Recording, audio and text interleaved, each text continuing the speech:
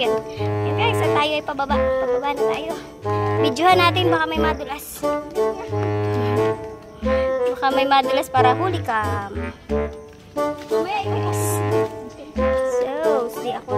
Di ako lang pa. Madulas na sila ako hindi. Ikaw yan, may chinilas mo, tinan mo, hindi pang bundok. Kaya nga nagdisipit ako. Ano, ano. Baka mahila mo. Takbo! Ay, may damo. Kalabaw, ayan kalabaw. Carabao. This is Carabao. Ayan.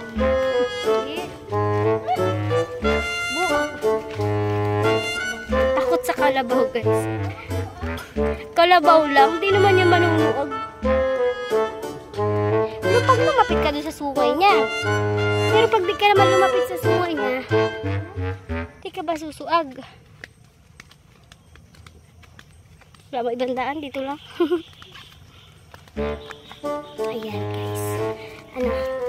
For the lakad kami, guys. Dapat talaga kapuntang bayan. Oo, talaga ba?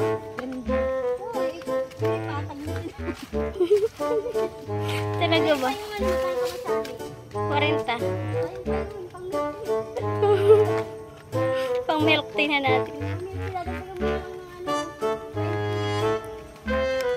Lakad talaga, grabe siya. Pwede rin.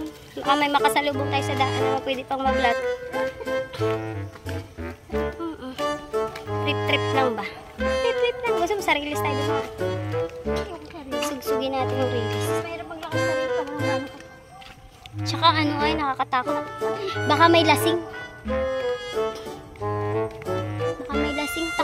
Lasing. Takot ako sa lasing. Katakot kaya lasing. Bigla na lang nang haharang.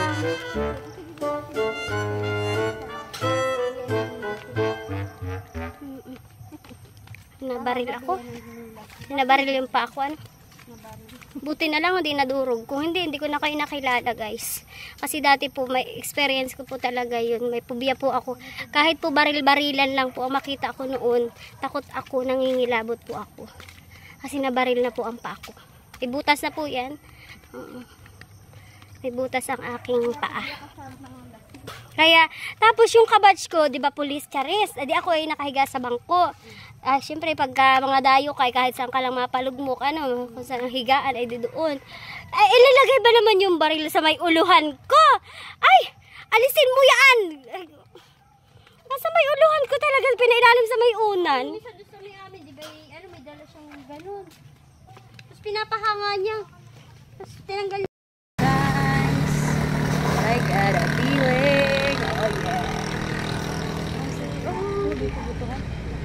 Mami. Mami, buta